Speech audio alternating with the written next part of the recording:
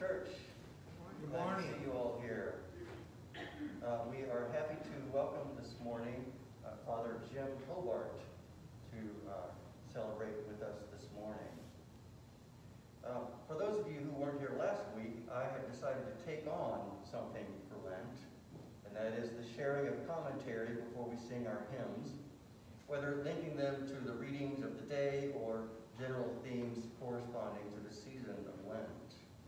It is my hope that this will encourage you to worship more fully through congregational song. Our opening hymn is hymn 401, The God of Abraham Praise. In a few moments, we'll hear the story of God's covenant with Abram and his descendants. You'll see that this opening hymn includes reference to that in the context of a general hymn of praise to God, which is always a great way to begin worship. Just a reminder that it is customary to stand for singing as soon as the organ introduction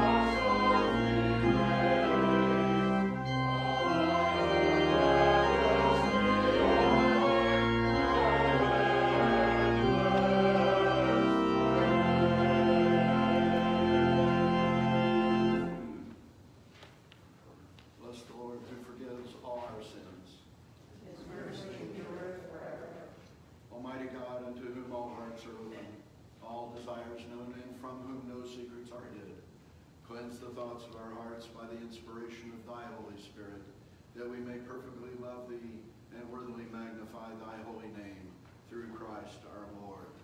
Amen. Hear what our Lord Jesus Christ saith. Thou shalt love the Lord thy God with all thy heart, and with all thy soul, and with all thy mind. This is the first and great commandment. The second is like unto it. Thou shalt love thy neighbor as thyself. On these two commandments hang all the law and the prophets.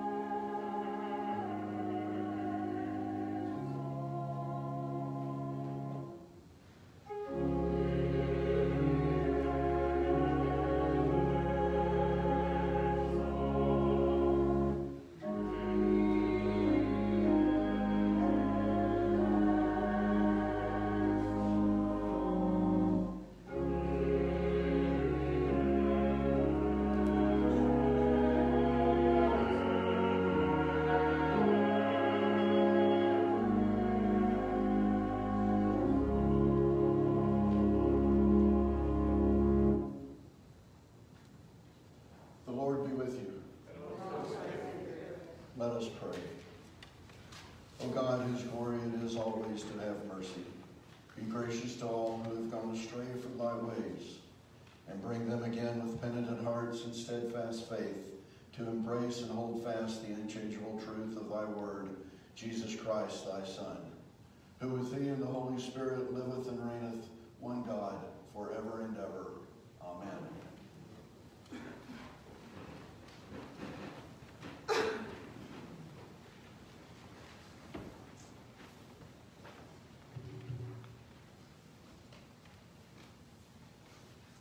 Reading from the book of Genesis. The word of the Lord came to Abram in a vision. Do not be afraid, Abram. I am your shield. Your reward shall be very great. But Abram said, O Lord God, what will you give me? For I continue childless, and the heir of my house is Eliezer of Damascus. And Abram said, You have given me no offspring, and so a slave born in my house is to be my heir. But the word of the Lord came to him. This man shall not be your heir. No one but your very own issue shall be your heir. He brought him outside and said, Look toward heaven and count the stars, if you are able to count them. Then he said to him, So shall your descendants be. And he believed the Lord, and the Lord reckoned it to him as righteousness. Then he said to him, I am the Lord who brought you from Ur of the Chaldeans to give you this land to possess. But he said, O Lord God, how am I to know that I shall possess it? He said to him, Bring me a heifer three years old, a female goat three years old, a ram three years old, a turtle dove, and a young pigeon. He brought him all these and cut them in two, laying each half over against the other. But he did not cut the birds in two. And when birds of prey came down on the carcasses, Abram drove them away. As the sun was going down, a deep sleep fell upon Abram, and a deep and terrifying darkness descended upon him. When the sun had gone down and it was dark, a smoking firepot and a flaming torch passed between these pieces. On that day the Lord made a covenant with Abram, saying, To your descendants I give this land, from the river of Egypt to the great river, the river Euphrates. The word of the Lord.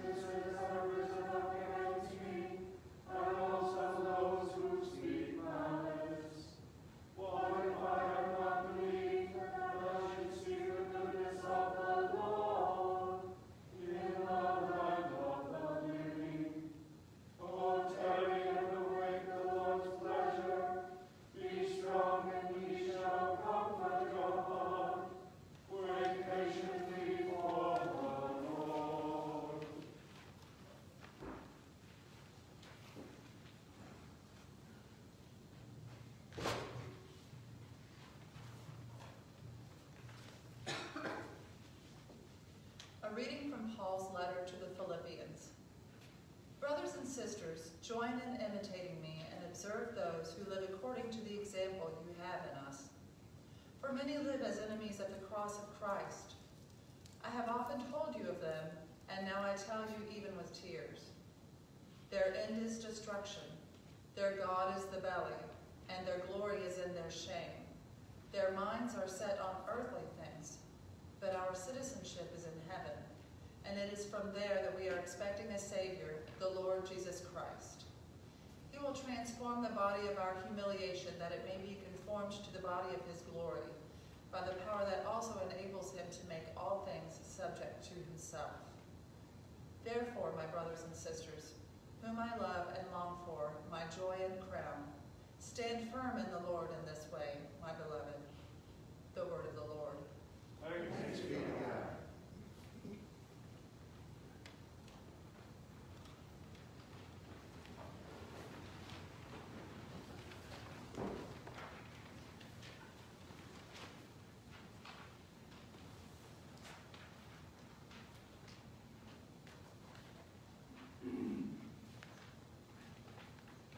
The Holy Gospel of our Lord Jesus Christ, according to Mark.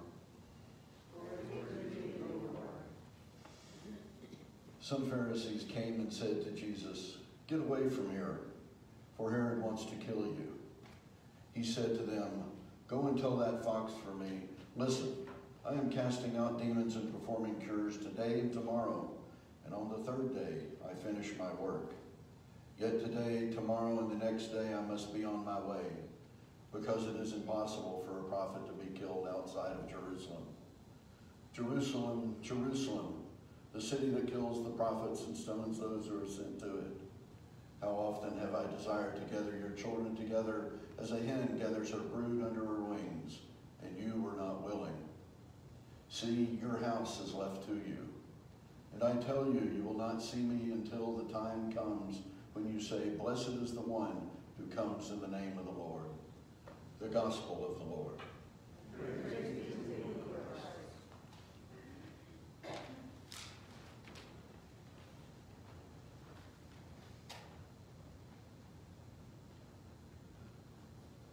May the words of my mouth and the meditation of all our hearts be acceptable in your sight, O Lord, our strength and our Redeemer.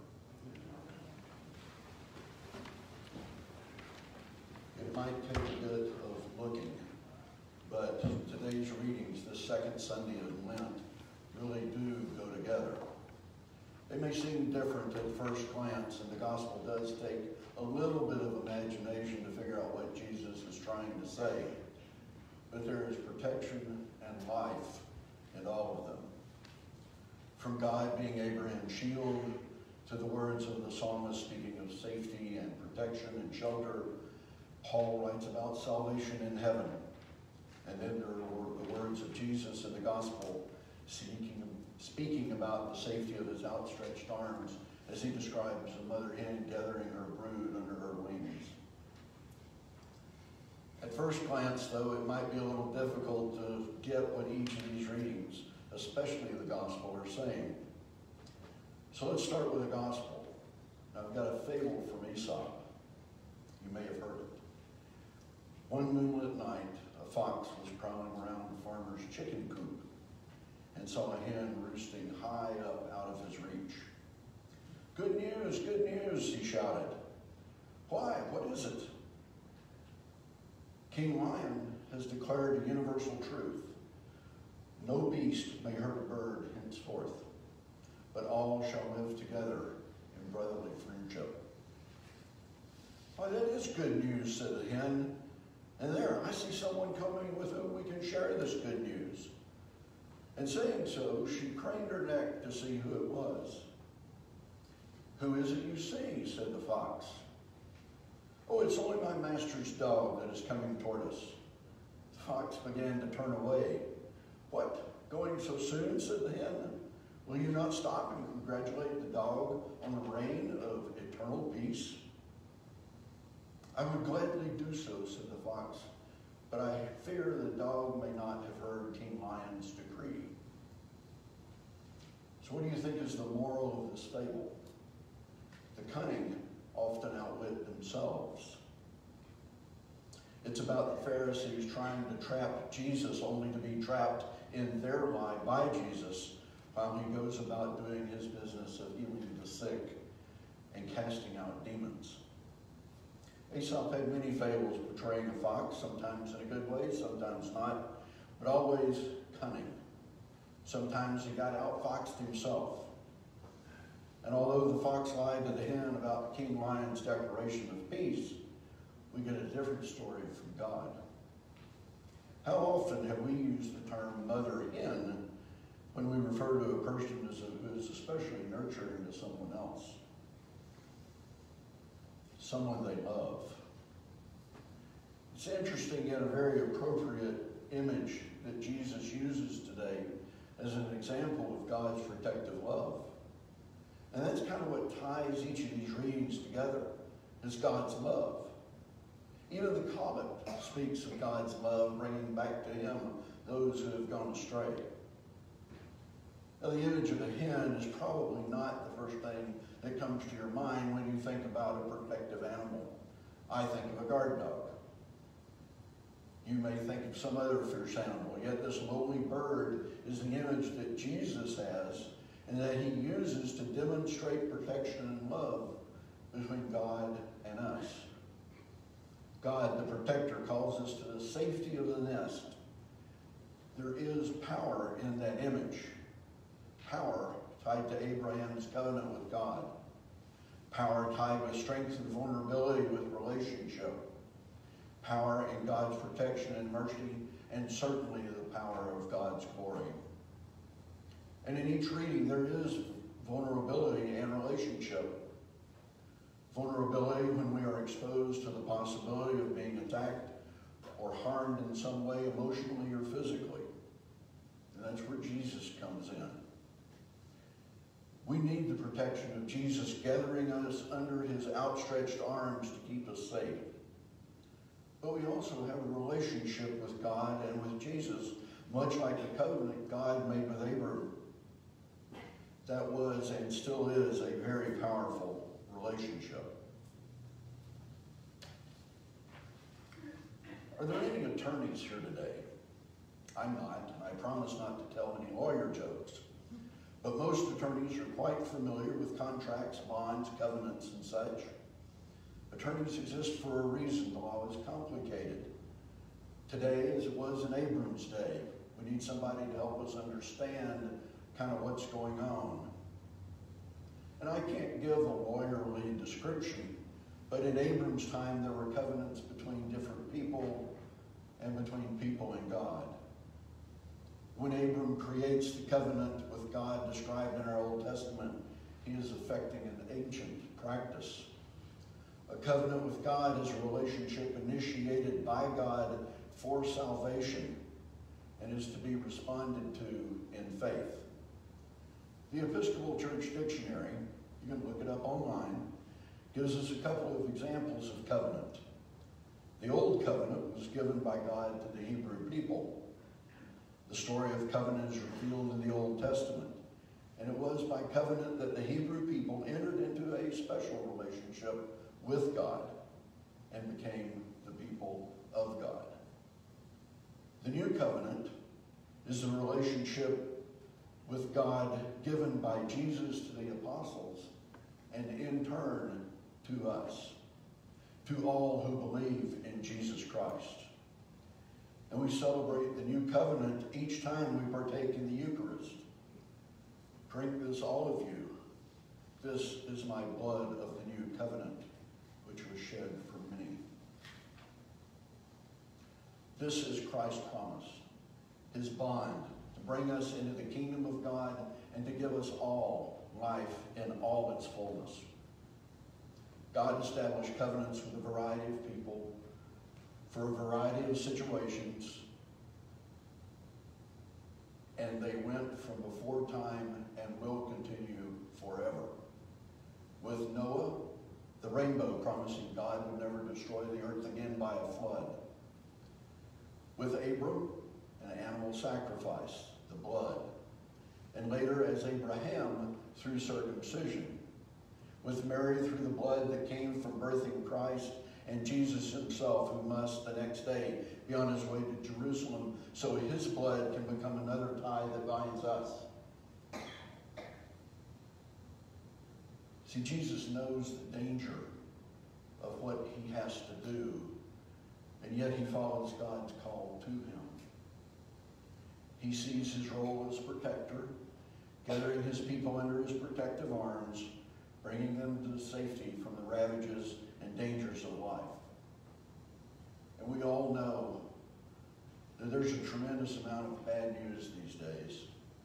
News of violence, oppression, societies pitted against one another, the almost endless news of the ongoing pandemic, not to mention the difficult situations we might have in our own lives. The words in Psalm 27 today are very comforting. The Lord is my light and my salvation. Whom then shall I fear? And in verse 4, though war should rise up against me, yet I will put my trust in him. These words are about trusting God and not being afraid. It's about trusting Jesus and letting him gather us up under his wings. And his protection is for all who turn to him. Now, compared to other metaphors in the Bible, shepherd, potter, bread of life, father, there's something really ordinary about the hen. It's not what you would expect. It's a humbling comparison. But themes of protection and safety are all over it. The vision we have comes as a response to the faith, comes as a response to the death threats from King Herod. God wants to gather his children together in his arms. All too often, all too often, violence begets more violence. And Jesus knows it would be so easy, too easy perhaps, to fight fire with fire. But he doesn't do that. His response to acts of violence and abuse is to protect his children. As a mother hen would, gathering his brood up under her wings. There's nothing weak at all about that image. She demonstrates boldness. She demonstrates compassion and the willingness to do whatever it takes to protect those whom she loves. And that is the desire of our God for us. The invitation this Lent is to carry the image of Jesus as a protector and nurturer with us no matter where we are. And I'm not saying to ignore the existence of any dangers that might be before us, but it does give us something to hold on to when we are anxious or scared. I know I want to be in those loving arms of Jesus. Much like the comforting words from Psalm 27, knowing that God is with us at every twist and turn can make a world of difference, even and especially in these difficult times. The season of Lent is a time of repentance and a time to consider what it means to be in covenant with God. When we received the cross of ashes on our foreheads Ash Wednesday, it reminded us exactly of how vulnerable and human we are. In our baptism, we are sealed by the Holy Spirit and marked as Christ's own forever. We are called by God to love like a protector, opening our hearts and our wings wide and exposing our hearts to the world. We are called to love our neighbors as ourselves. That is the desire of our God. We are called to love like someone who is in covenant with God because we are. Amen.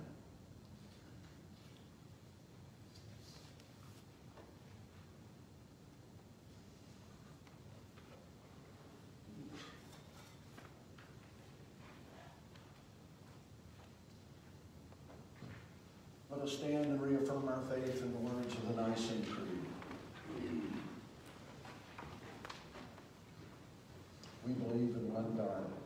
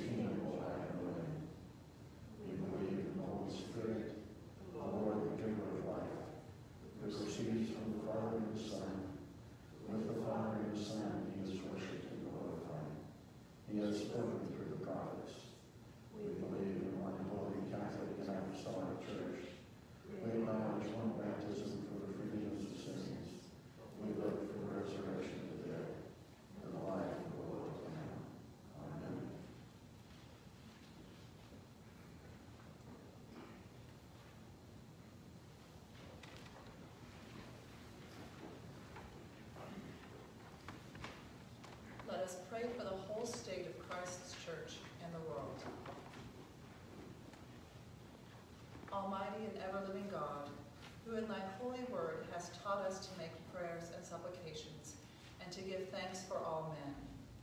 Receive these our prayers which we offer unto thy divine, divine majesty, beseeching thee to inspire continually the universal church with the spirit of truth, unity, and concord. And grant that all those who do confess thy holy name may agree in thy, tr- the truth of thy holy word and live in unity and godly love. Give grace, O Heavenly Father, to all bishops and other ministers, especially for Michael, our presiding bishop, Terry, our bishop, Mary, our deacon, and our visiting clergy, that they may, both by their life and doctrine, send forth thy true and lively word, and rightly and duly administer thy holy sacraments. In the Anglican Communion, we pray for the Anglican Church of Melanesia. In the Diocese of Kentucky, we pray for Christ Church Elizabethtown and racial healing. The parish cycle of prayer, we pray for the continued success of our most recent outreach ministry, Brothers and Sisters of St. Francis Animal Care Society. And to all thy people give thy heavenly grace, and especially to this congregation here present, that with meek heart and due reverence, they may hear and receive thy holy word, truly serving thee in holiness and righteousness all the days of their life. We beseech thee also so to rule the hearts of those who bear the authority of government in this and every land, especially for Joe, our president, and Andy, our governor, that they may be led to wise decisions and right actions for the welfare and peace of the world. We pray for all victims of violence and those who perpetuate violence. Let your peace extend to every person that all may live as your beloved children. We also remember before thy throne of grace our enemies and our armed forces, especially for those on active duty.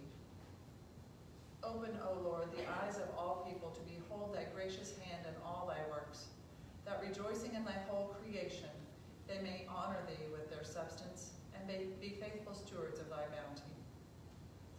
We rejoice in God's blessing of life and for those celebrating anniversaries and birthdays, especially for those we name either silently or aloud.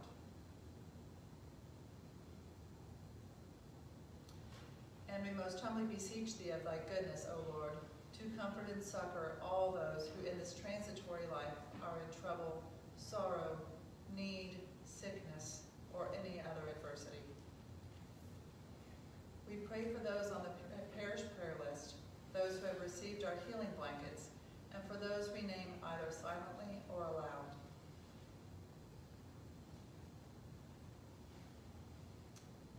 And we also bless thy holy name for all thy servants departed this life in thy faith and fear, and those we name either silently or aloud.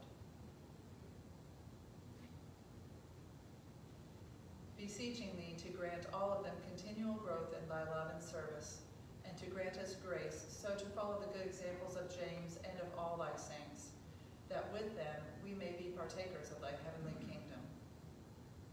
Grant these our prayers, O Father, for Jesus Christ's sake, our only mediator and advocate. Amen. Let us pray for the Rector Search Committee. Almighty God, giver of every good gift, look graciously on St. James Church, and so guide the minds of those who shall choose a rector for this parish, that we may receive a faithful pastor who will care for your people and equip us for our ministries. Amen.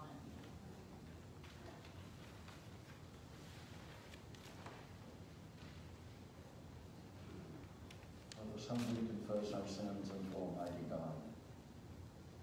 Most merciful God, we confess that we have sinned against thee in thought, word, and deed, by what we have done and by what we have left undone. We have not loved thee with our whole heart. We have not loved our neighbors as ourselves. We are truly sorry, and we humbly repent. For the sake of thy Son, Jesus Christ, have mercy on us and forgive us, that we may delight in thy will and walk in thy ways to the glory of your name.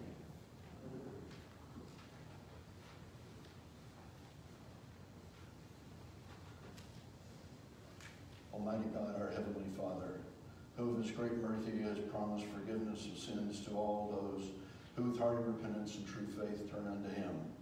Have mercy upon you, pardon and deliver you from all your sins, confirm and strengthen you in all goodness, and bring you to everlasting life through Jesus Christ our Lord. Amen.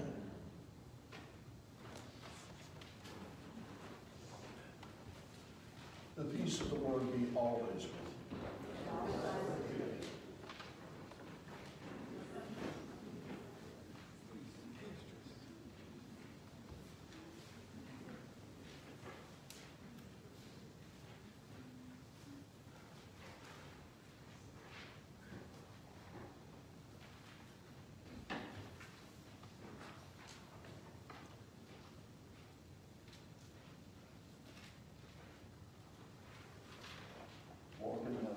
acknowledge what us, she gave himself for us in offering and a sacrifice.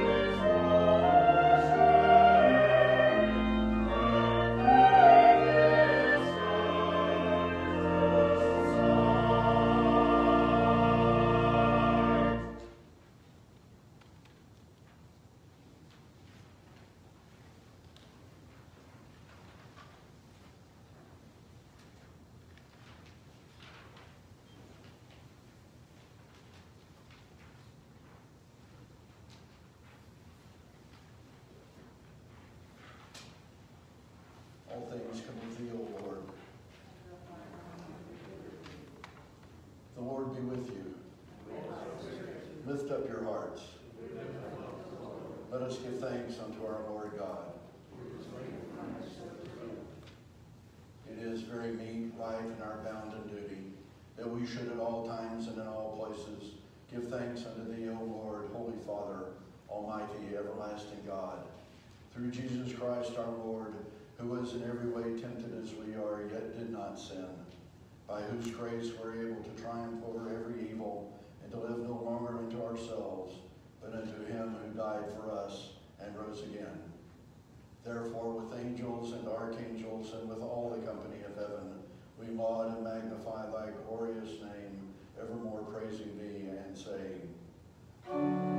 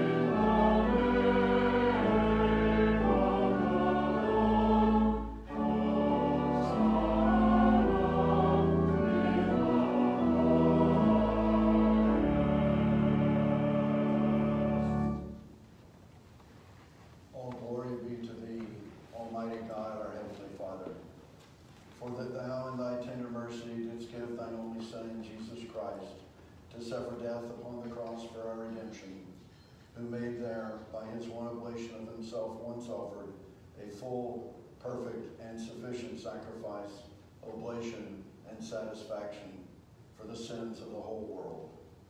And did institute and in his holy gospel command us to continue a perpetual memory of that his precious death and sacrifice until his coming again. For in the night in which he was betrayed, he took bread, and when he had given thanks, he brake it and gave it to his disciples, saying, Take, eat. This is my body which is given for you. Do this in remembrance of me.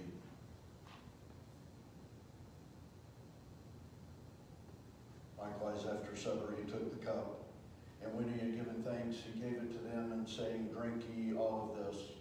This is my blood of the New Testament, which is shed for you and for many for the remission of sin.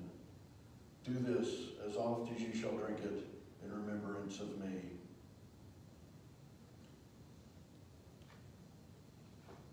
Wherefore, O Lord and Heavenly Father, according to the institution of thy dearly beloved Son, our Savior Jesus Christ, we, thy humble servants, do celebrate and make here before thy divine majesty with these thy holy gifts, which we now offer unto thee, the memorial thy Son hath commanded us to make.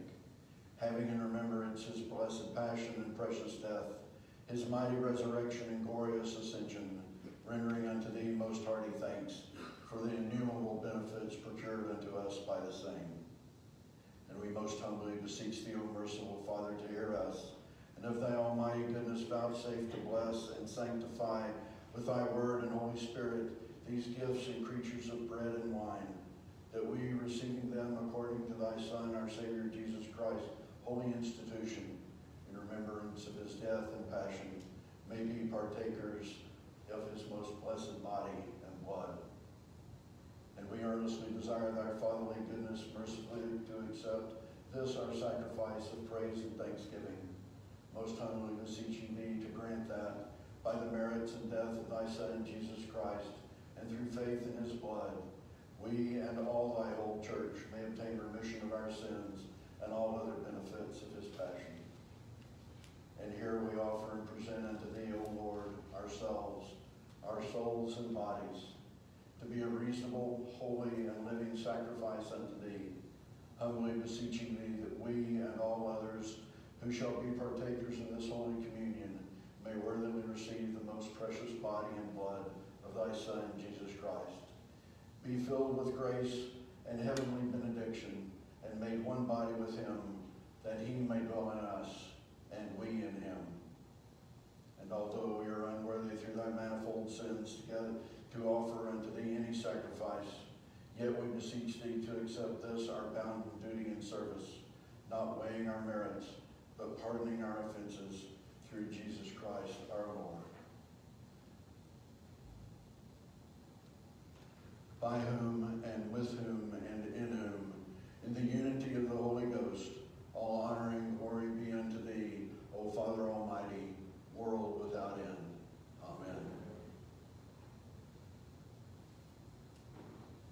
And now, as our Savior Christ has taught us, we are bold to say, Our Father, who art in heaven, hallowed be thy name. Thy kingdom come, thy will be done, on earth as it is in heaven.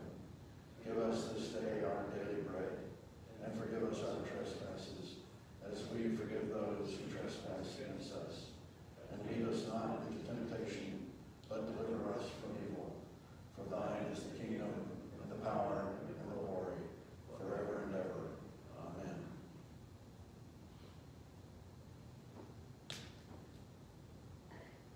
Christ our Passover is sacrificed for us.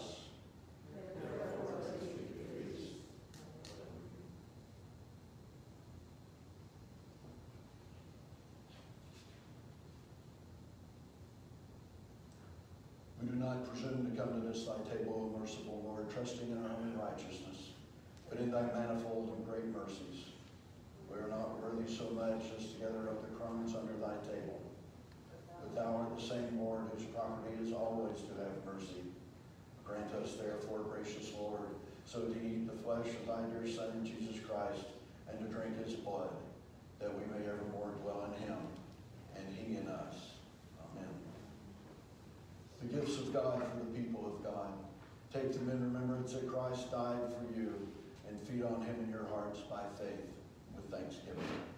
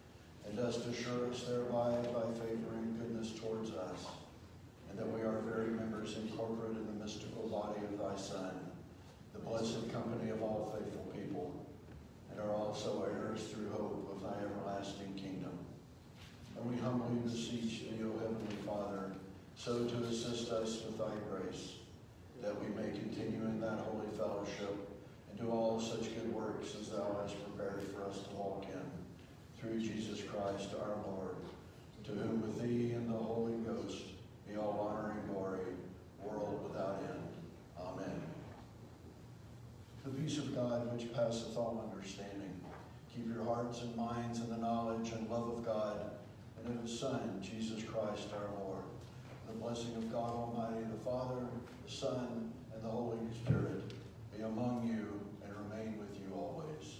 Amen. Our closing hymn is hymn 455, O love of God, how strong and true. This beautiful text, set to a lovely, somewhat contemporary tune, shows us various ways in which we may see God, and as mentioned in our second lesson, we see God in Jesus as Savior. As we part ways for now, looking forward to the week ahead, may this hymn serve as a reminder of God's love for us, which is indeed beyond all knowledge and all thought.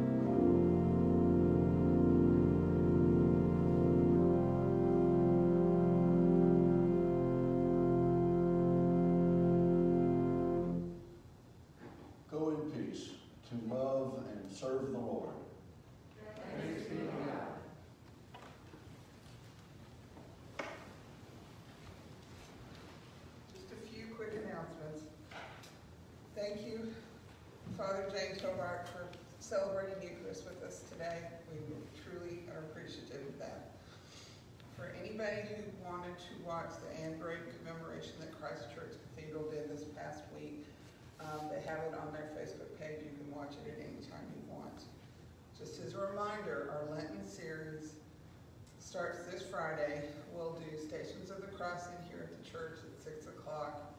The program will start at six thirty in Gleason Hall.